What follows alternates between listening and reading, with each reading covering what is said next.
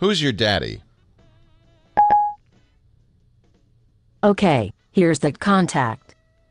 Justin Young is my daddy.